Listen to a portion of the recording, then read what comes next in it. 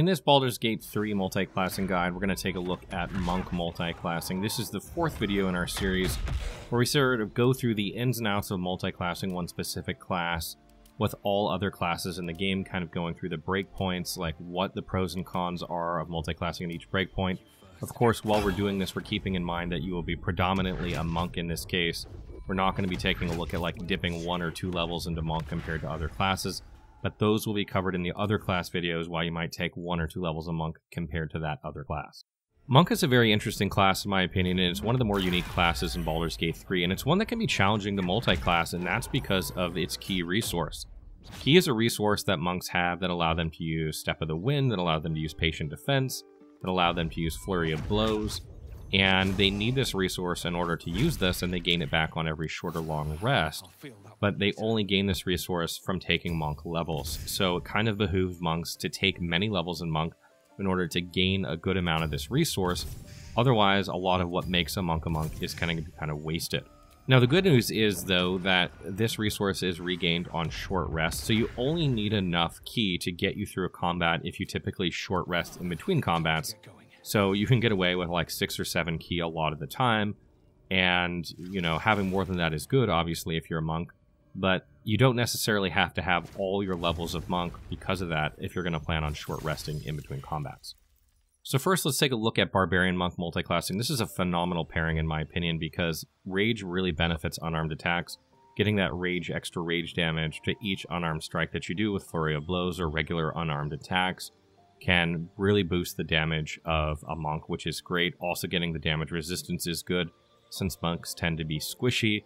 And if you're playing like an unarmored monk, obviously you can benefit from the constitution passive of barbarians increasing their armor class, whether you have wisdom or not. Obviously, these don't stack, so you know you're not going to be able to crank wisdom and constitution and get armor class from both. But maybe you don't want wisdom on your monk, but you still want to get that extra armor class. This is a good pairing. So first up, let's take a look at 10 Monk to Barbarian, and I think this is probably the least amount of Barbarian levels you would take. This will give you access to Rage, and it'll give you access to Reckless Attack. Keep in mind that Reckless Attack does not work with unarmed attacks, so if you're planning on taking advantage of Reckless Attack, then you will probably want to use some sort of melee weapon, you know, in order to, to take best advantage of that if possible. Otherwise, don't really factor in Reckless Attack. Yeah, and what you're going to lose from going down from 12 monk to 10 monk uh, is basically your third feat, and you're going to lose a subclass feature. And which subclass feature you lose is really dependent on, you know, what subclass you're choosing. So it your mileage is going to vary there a little bit. But I think generally speaking, this is probably a decent trade-off. If you're planning on playing a monk that's not predominantly using unarmed attacks, you might be better off going like 11 monk in one barbarian if you're not really, you know, going to need reckless attack. At 9 Monk, 3 Barbarian, you're going to gain a Barbarian subclass, which is phenomenal. There are some really good subclasses for Barbarian. You can gain some very good things here. But you will lose improved unarmored movement and purity of body. These are not that important in my opinion. You do already have pretty good unarmored movement if you're playing a monk with no armor or shield. So, you know, this isn't huge loss in my opinion. And purity of body is good, but it's not great. Picking up that Barbarian subclass is probably better in the long run so I think 9 and 3 is a better breakpoint than 10 and 2 generally. So then if you go to 8 Monk, 4 Barbarian, you're going to gain your third feat back, but you will lose advanced unarmored movement and you will lose some unarmed damage. I don't think this is a great trade in my opinion, particularly if you're playing an unarmed monk. If you're playing like a, you know, monk barbarian that's actually using armor, then this is probably not a big deal. Especially one that's using a weapon, then this is probably a better trade. But if you're planning on playing like unarmored and unarmed, then this is definitely not a good trait for you. So then at level 7 Monk, 5 Barbarian, you're going to gain fast movement and an extra attack from Barbarian, which does not stack with the extra attack of Monk. So you're basically just gaining fast movement and you're losing out on that third feat in exchange for that. This is not a good trade. You do not want to be 7 Monk, 5 Barbarian. You'd be better off being 8 and 4, 9 and 3, or even 6 and 6 would be better than 7 and 5. And then at 6 Monk, 6 Barbarian, you're going to pick up a Barbarian subclass feature and a Rage Charge in exchange for losing Evasion, which is going to help protect you from spells a little bit, and Stillness of Mind. And I think this is probably a good trade-off for the most part. It's kind of a wash. Like, you're gaining some good things, but you're also losing some good things. in general, it's probably a trade off unless you have a very specific build in mind. So, in my opinion, you know, you're probably better off going like 9 and 3, 8 and 4, or 6 and 6, with 9 and 3 probably being the strongest breakpoint. So then we move on to Bard Monk multi-classing, and this is an interesting one in my opinion. There are a lot of advantages to picking up Bard as a monk, and some of them probably don't seem quite as obvious, but because monks regain their ki on short rests and bards gain Song of Rest, that can be really beneficial for them, allowing them to, you know, rest again and replenish those in between long rests. And also because they're bardic inspiration, they can use that as a bonus action, and once they hit level 5 as a bard, they can use that or replenish those on short rest as well. Getting at least five levels of Bard can make a lot of sense with a Monk Bard multi-class because you're going to be able to get back your Bardic Inspiration and your ki every time you short rest, and you'll be able to short rest in extra time. So starting at level 10 Monk and taking 2 of Bard, I don't think you would take one level of Bard in my opinion, because getting that Song of Rest is important. You're going to gain level 1 Bard spells and spell slots. Song of Rest, as I already mentioned, you'll gain Jack of all trades, which will give you some, you know, skill checks if you need them. In exchange for this, you're going to lose a feat in a subclass feature.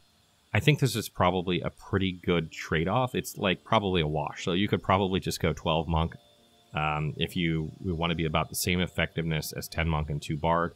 A little bit more utility on the 10 Monk, 2 Bard, but probably want to take some more Bard classes to really get the most out of this. And one thing I want to mention before we get too much further is that Bards use Charisma for their spellcasting ability modifier, while Monks use Wisdom for theirs if they went Way of the Four Elements. So there is a bit of a conflict there if you're planning on playing a Way of Four Elements monk. However, I would suggest that, you know, you either just don't take bard spells that are hostile so that they don't really depend on charisma to cast, or you don't play Way of the Four Elements monk and you just focus on charisma. That way, you know, you don't have to spread your stats around as much. And then at 9 Monk and 3 Bard, you gain a Bard subclass, you gain expertise and 2 skills, and you gain level 2 Bard spells and spell slots for losing improved unarmed movement and purity of body. This is a fantastic trade-off in my opinion. You'll gain, you know, proficiencies here if you go College of Swords or College of Valor. You'll gain some more skills and you'll gain uh, cutting words here if you go College of Lore. There's just a lot of good pickup at 9 Monk and 3 Bard. And I think if I was going to go 9 Monk, and, or if I was going to go Monk and Bard, I would go at least 9 Monk and 3 Bard. I don't think 10 and 2 is as good. So then at 8 Monk 4 Bard, you're going to gain a feat and a Bard cantrip in exchange for losing advanced unarmored movement and losing some damage on your unarmed attacks. If you're not planning on playing like predominantly an unarmed monk, like if you plan on using a weapon of some kind, uh, particularly if you want like College of Swords or something like that, then I think this is probably a decent trade-off. But if you're planning on playing an unarmed monk, then you definitely don't want to stop at this breakpoint unless you use that feat to pick up something like Tavern Brawler or something like that, which would you know essentially offset that. At 7 Monk and 5 Bard, you gain Font of Inspiration, improved Bardic Inspiration, improving that die from 1d6 to 1d8, and you're going to gain level 3 Bard spells and spell slots in exchange for losing that feat. That is a phenomenal trade off, in my opinion. As I mentioned earlier, this allows you to use your Bardic Inspiration on short rest, and if you want like College of Swords or something that allows you to use these like special attacks that you can use your Bardic Inspiration die for that are now stronger. And you're also going to have level 3 spells, which is great. So I think 7 and 5 is definitely better than 8 and 4 generally. And then at 6 Monk and 6 Bard, you gain Counter Charm and you also gain Bard subclass features. This would be extra attack if you're playing Swords or Valor, and it would be extra magical secrets if you're playing College of Lore, and in exchange you lose evasion and stillness of mind. I think this is probably only worth it if you're playing College of Lore, in my opinion, because that extra attack that you gain for Swords and Valor does not stack with the monks. So you're effectively only gaining Counter Charm here. Whereas if you're playing College of Lore, you'll actually gain that extra magical secrets for those extra spells. So I think there is a case here if you're playing College of Lore, but otherwise, 7 and 5 is probably better for if you're playing the either of the other two. So next up, we take a look at Monk Cleric multiclassing, and there's a lot to love here with this multiclass. Clerics use Wisdom for their spellcasting ability modifier, just like Way of the Four Elements monks do, and obviously monks gain extra armor class when unarmored for each point of Wisdom, so there is some synergy there as well. Definitely more synergy, you know, than some other classes that don't use Wisdom for their spellcasting, so this is not a bad pairing. So first, we'll take a look at 11 Monk 1 Cleric, and essentially what you're doing here is you're saying, I'm going to lose my third feat, and I'm going to pick up Cleric level 1 spells and spell slots. You're going to pick a Cleric domain and gain access to some domain spells depending on which domain you chose. You're going to gain some proficiencies in some cases, depending on which domain you chose. So there's a lot to love here for one level of Cleric, and I think probably the most likely reason that you would do this is if you were trying to pick up some easy proficiencies, and, you know, this level 1 of Cleric is a great way to do that. This means you would probably go something like War or Tempest or even Life domain, something like that, in order to pick up, you know, heavy armor proficiency and maybe some weapon proficiencies. And then at 10 Monk, 2 Cleric, you're going to gain your Channel Divinity ability for your Cleric, you know, whatever, depending on which domain you chose. So your mileage is going to vary depending on which one you chose a little bit, in exchange for losing a subclass feature of the Monk.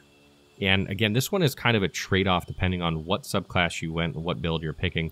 It's kind of a wash. So I don't think you're going to get much out of this generally at 10 and 2 compared to 11 and 1, depending on, uh, unless you have a very specific build in mind with some very specific setup that benefits specifically. Otherwise, you know, 11 and 1 is probably better than 10 and 2. And then at 9 Monk, 3 Cleric, you're going to gain access to Cleric level 2 spells and spell slots, as well as the domain spells, the second level of domain spells for that domain, in exchange for losing improved unarmored movement and purity of body. This is a good trade off, in my opinion. I think if you're to go past 11 and 1 Cleric, or 11 Monk and 1 Cleric, 9 and 3 is definitely better than 10 and 2, I at least go that far, if not further. And then at 8 Monk 4 Cleric, you're going to gain a feat and a Cleric cantrip in exchange for losing advanced unarmored movement and some unarmored damage, or unarmed damage, I should say. And again, this is another one where, like, if you're playing an unarmed monk, unless you're taking Tavern Brawler with this feat, you definitely don't want to take this. If you're playing a weapon-based Cleric monk, then it's probably a good trade-off. And then at 7 Monk 5 Cleric, you gain access to level 3 Cleric spells and spell slots, as well as the domain spells of that cleric, as well as destroy undead in exchange for losing a feat. This is really good in my opinion, again, particularly if you're not playing an unarmed monk. Um, simply because you can gain some very deadly spells here, like if you went like light cleric, you can gain fireball here. There's a lot of really good spells at this level, depending on your domain. And, you know, getting those in exchange for losing a feat is a good pickup, I think. Really depends on what you're going for, obviously, with your cleric monk build but I think generally more often than not it'll be a good trade. And then lastly, we have 6 Monk, 6 Cleric, and here you're going to gain another Channel Divinity charge and a subclass feature. The mileage is going to vary depending on what subclass you choose in exchange for losing evasion and stillness of mind. This is probably a wash more often than it's not, meaning like you could go either way depending on what subclass you chose for Cleric, like, you know, what you're going to lose here. I think this is probably, you know, could go either way depending on how you're set up, just taking a look at the subclasses features that you're gaining. So next we'll take a look at Druid Monk multi-classing, and this is another one that has some decent synergy because Druids and Monks both use Wisdom for their spellcasting if you're going way of the four elements.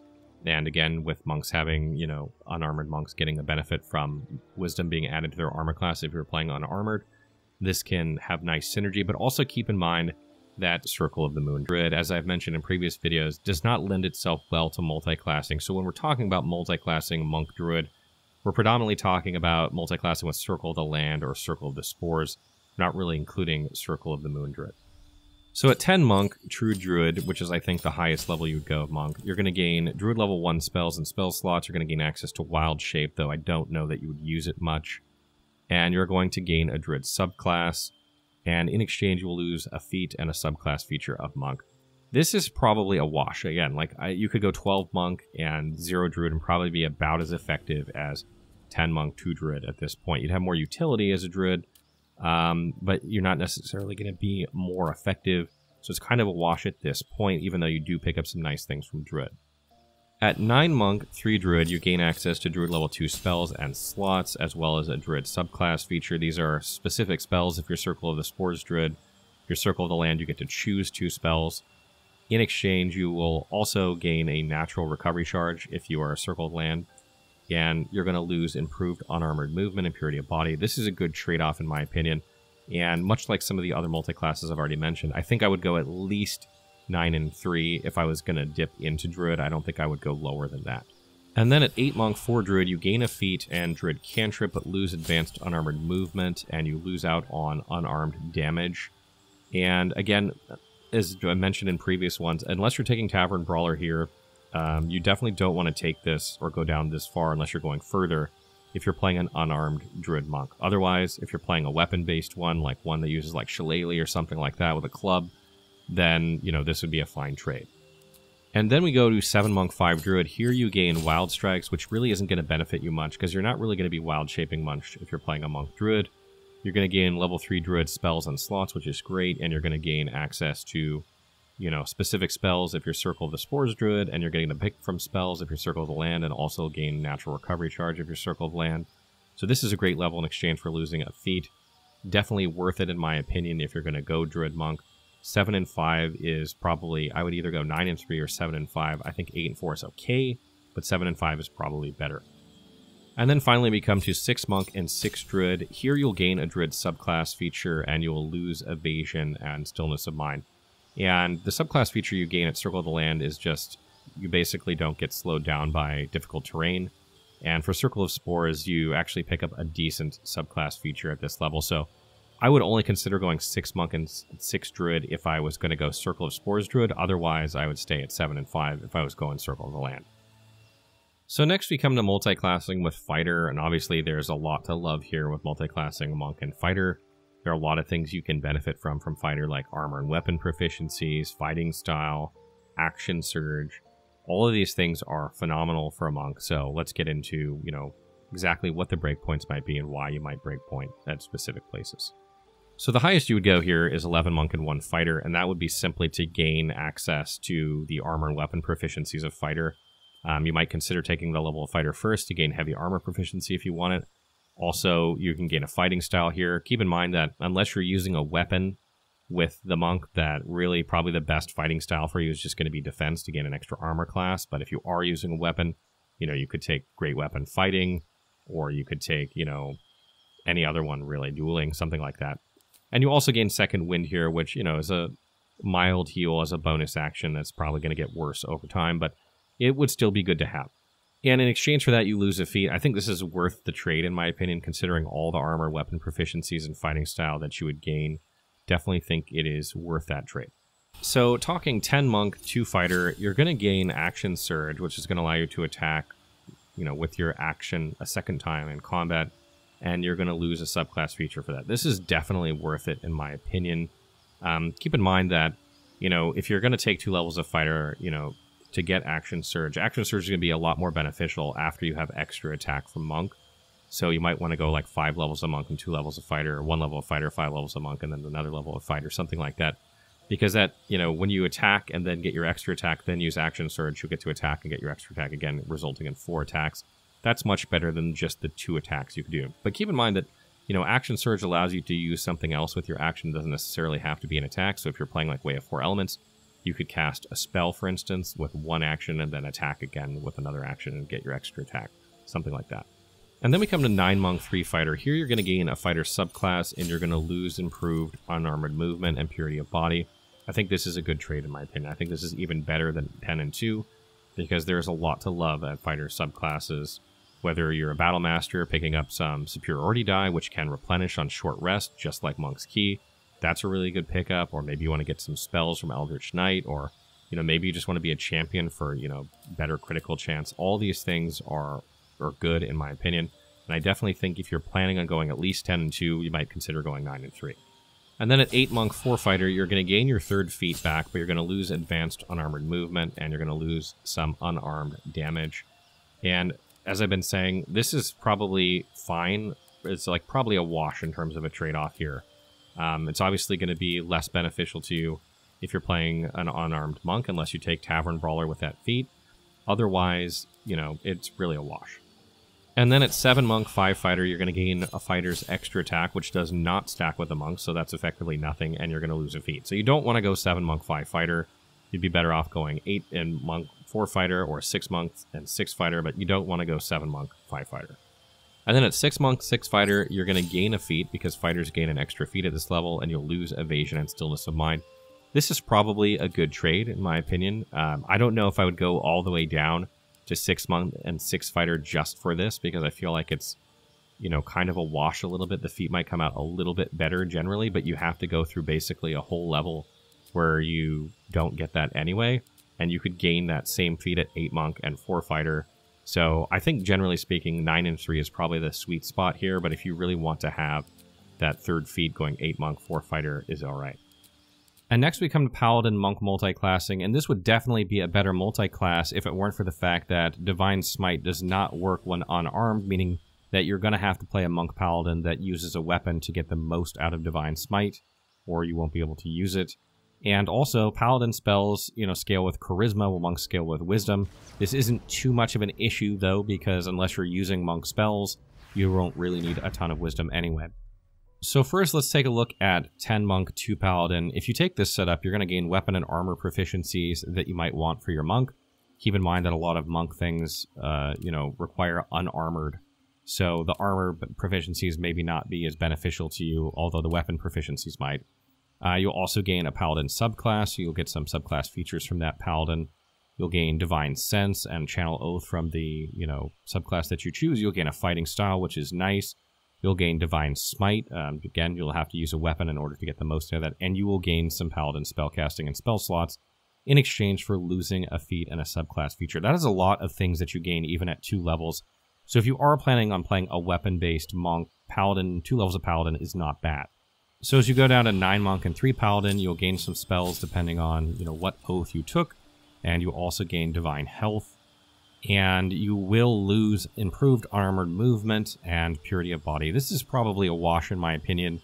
I don't think if I was going to go 9 monk or if I was going to go monk paladin, I would stop at 9-3. I would either go 10-2 or I would go much further down. And then at 8 monk 4 paladin, you're going to gain a feat in exchange from losing advanced unarmored movement and you will also lose some unarmed damage.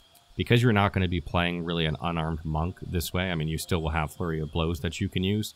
Um, this is not as much of a bad trade-off. This is probably fine because you're going to be using a weapon most of the time. And then at 7 Monk, 5 Paladin, you'll gain extra attack from Paladin that does not stack with the Monk's extra attack, so that's kind of wasted.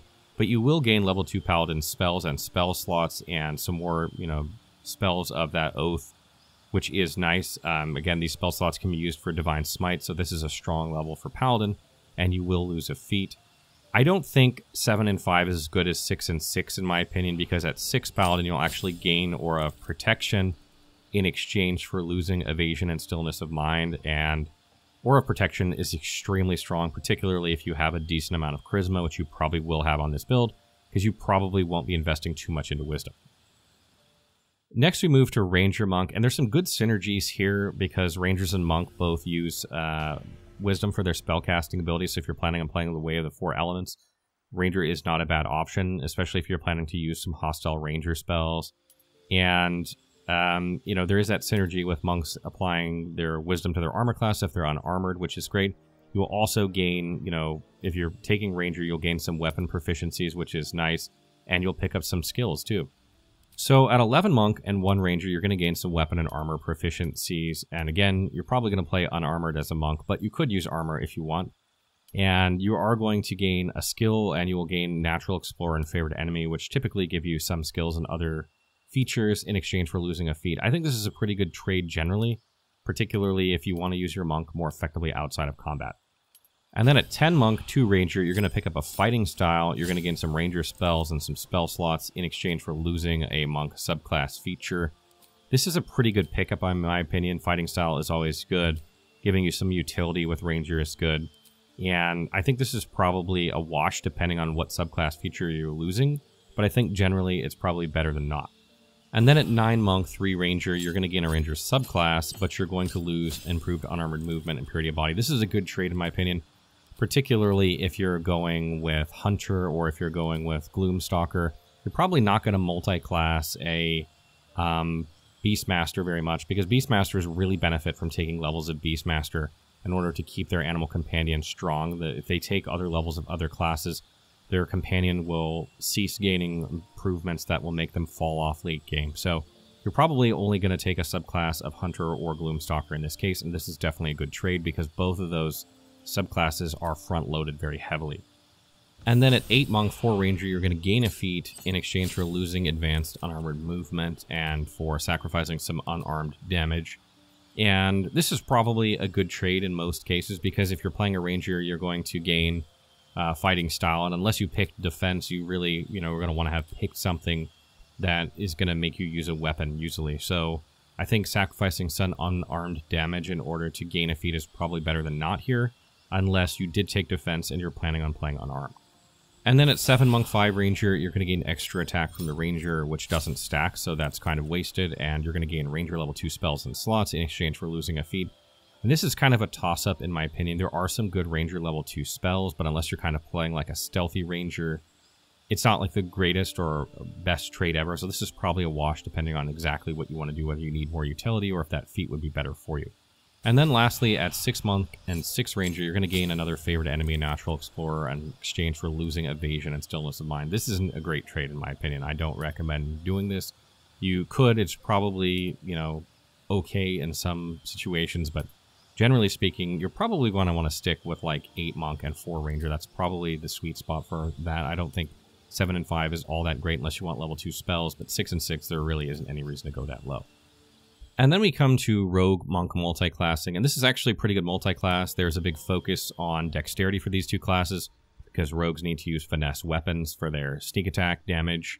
Um, this typically benefits dexterity, or dexterity can apply to this rather, so there's a good reason there. They typically use light armor.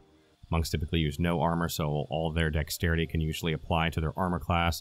Monks have deflect missiles, which is based off their dexterity. So, and obviously, you know, monks and rogues typically handle like the lockpicking and trap disarming, which typically falls under dexterity. So there is a lot of synergy between these two classes, particularly if you're playing like Way of Shadow Monk that tends to be a bit stealthy anyway.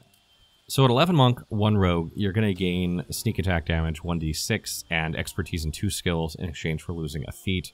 This is probably a wash most of the time, really depending on what you need. The feat is probably better for most builds, but unless you know exactly how you want your build to play, you you know you're probably not going to come out ahead with sneak attack and expertise. But if you need the extra skills or you just want to be better and like handle like the lock picking slash sneaking of your group, one level rogue is not bad on monk. And then if you go 10 monk, 2 rogue, you're going to gain cunning action, allowing you to disengage, dash, and hide in combat as a bonus action in exchange for losing a subclass feature. This is really strong in my opinion, particularly if you're trying to play a stealthy monk. If you're not trying to play a stealthy monk so much, it's not as useful because you do have Step of the Wind uh, from Monk, which basically does the same thing anyway. So this isn't super useful unless you're particularly trying to get that hide action. Then at 9 Monk, 3 Rogue, you're going to gain a Rogue subclass, and you're going to gain extra sneak attack. Your sneak attack will go up to 2d6 in exchange for losing improved unarmored movement and purity of body.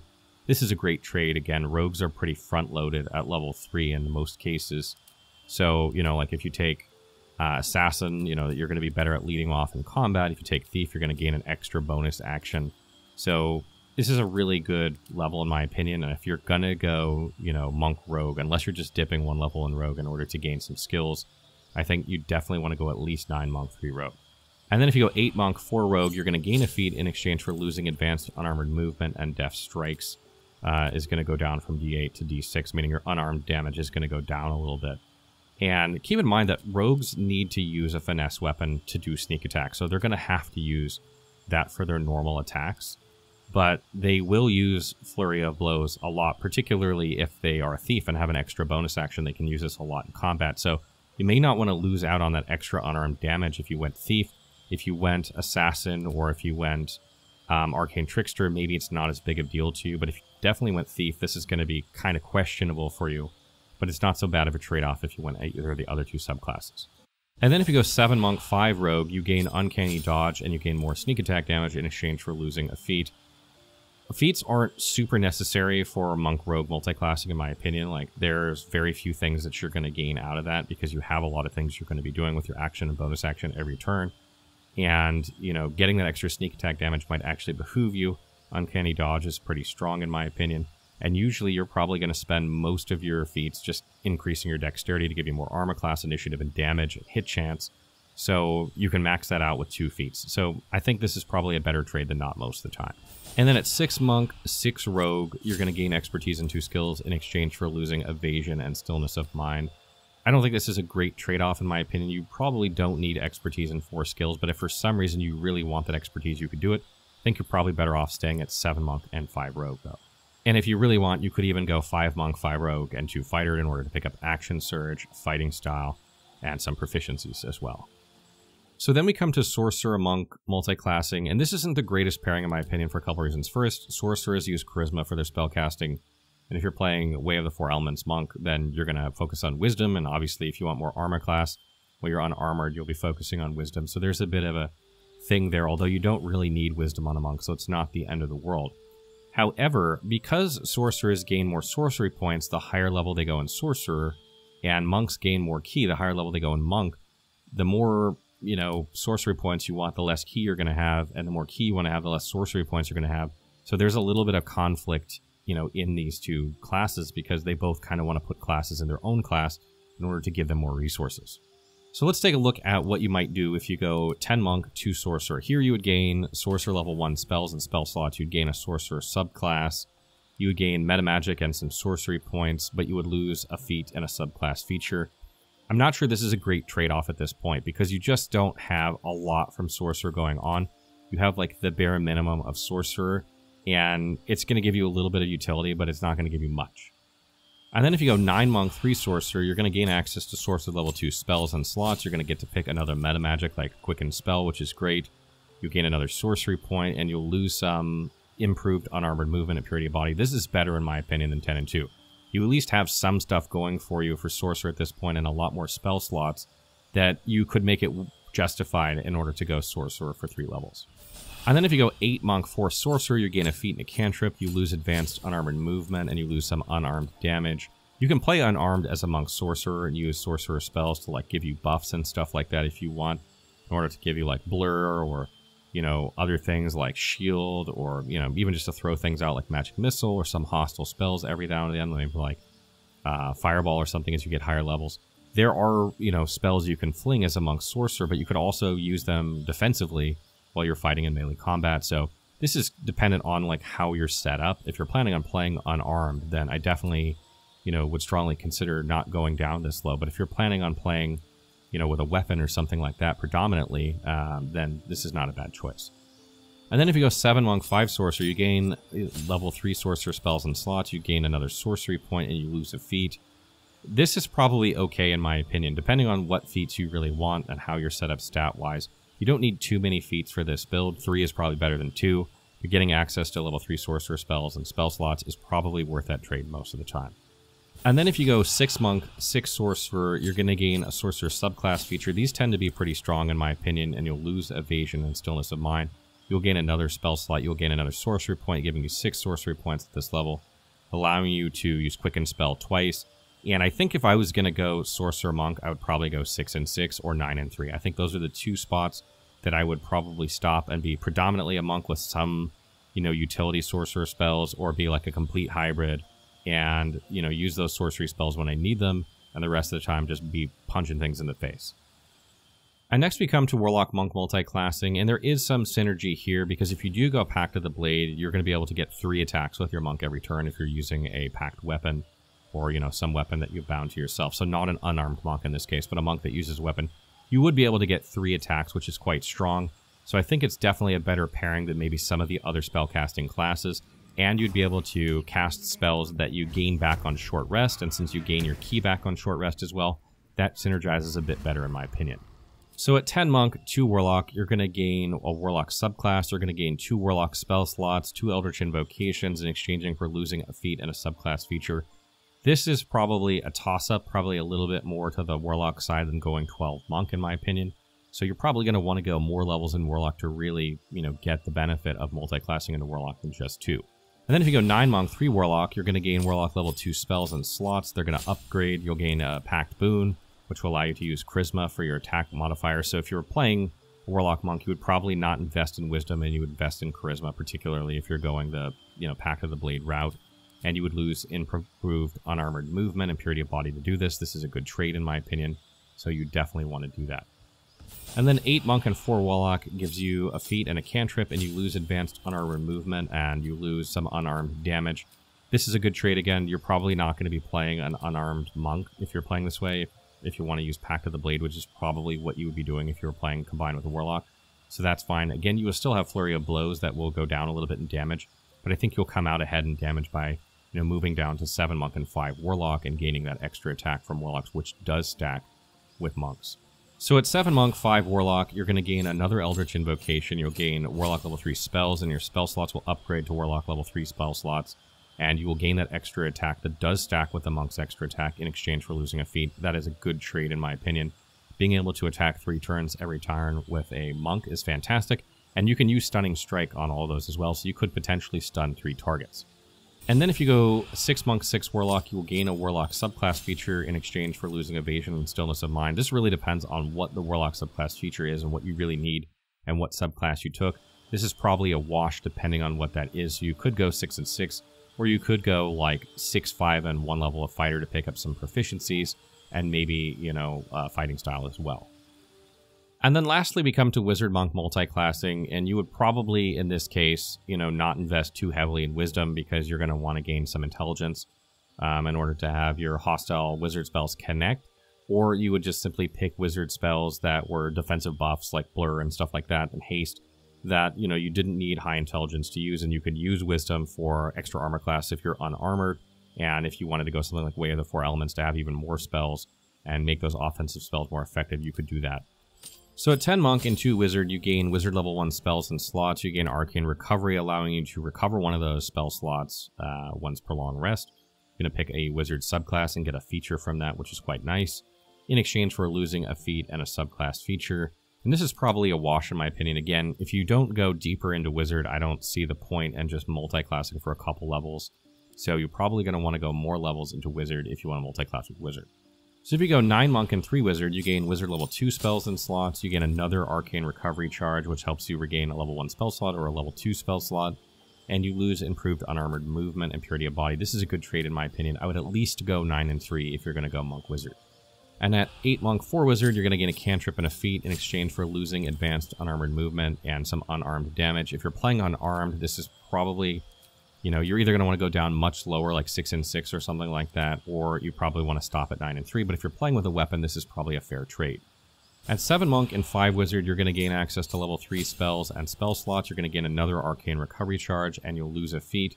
This is a great trade in my opinion, and if I was going to play a Monk Wizard, I'd either go Monk 3 Wizard, 9 Monk, dip a little bit in to gain some, you know, utility spells that I could use to protect my, like, melee-focused Monk, or I would go more, you know, the seven and five route and like really lean into spell casting when I want it, and then be meleeing the rest of the time. So I think this is a good trait. And then at six monk and six wizard, you're going to gain another wizard subclass feature in exchange for losing evasion and stillness of mind. The wizard subclass features at level six vary a lot from subclass to subclass, but some of them are quite good, particularly like evocation, um, particularly like necromancy. So if you're playing, you know, some depending on what spell casting class, divination also has a good one. Um, you might want to go six and six. That'll also give you another spell slot for wizard, which is great. And you still have like the good subclass features of six levels of monk. So I think six and six, seven and five, either of these are acceptable depending on what that subclass feature you're gaining is. So that wraps up our video on monk multi-classing. I know you guys have been waiting a while for this one. I hope it helps you make some decisions about what you want to multi-class. Don't be afraid to multi-class monk. Even though it uses wisdom for its spells, compared to some other spell casting classes, you really don't need a lot of wisdom on a monk. You could take their spell casting, or you can pick some spells that don't really need, you know, intelligence or charisma, uh, you know, and just focus on the wisdom instead and pick some defensive spells. There are a lot of ways you can multi-class monk with spellcasters, so don't be afraid to multi-class monk with them and really get into it and enjoy it.